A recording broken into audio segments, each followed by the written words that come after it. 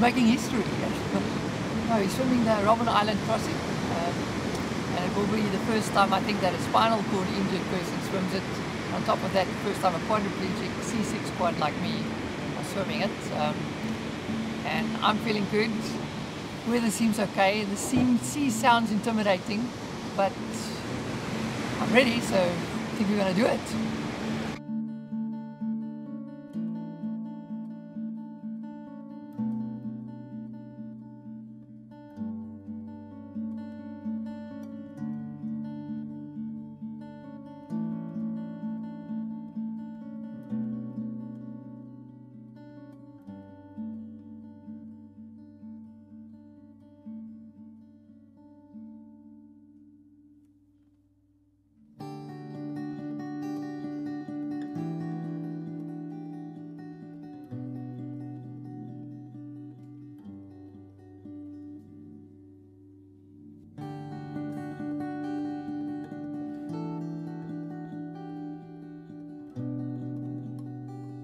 Done a lot of things. I do a lot of sports um, even before my accident, but um, my, my basically my open water experience is triathlons. Um, so I mean I'm the first quad that's done Ironman. I've done four now. Um, so I've done quite a couple of open water swims.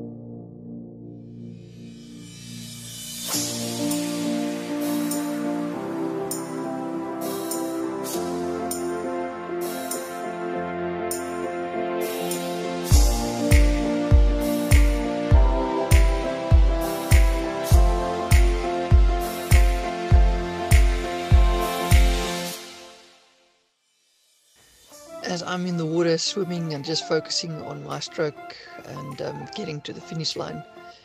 Um, you know, it is amazing to have the incredible support of everybody, but especially my wife, um, who's seven months pregnant with my champ on the way, um, uh, who didn't want to miss not being there on the sidelines in the water, in the boat, um, supporting me um, every now and then, feeding the fishes um, but still she was there all the way through. Um, and yeah, you know, in the end, that's what it's all about. Um, everything I do, um, you know, a lot of people see what I'm doing and the amazing things I'm doing, but um, yeah, it truly is incredible to have such a great teammate in my wife. Um, you know, always there behind me, and to be honest, probably doing more incredible things than what I'm doing.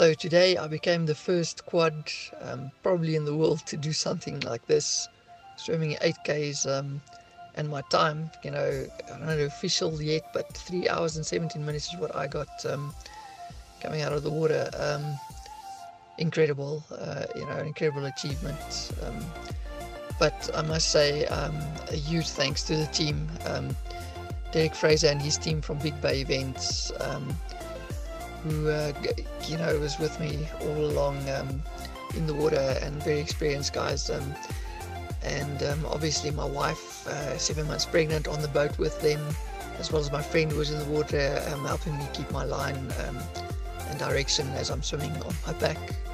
Um, Terry, yeah, thanks a lot, guys. It was just amazing.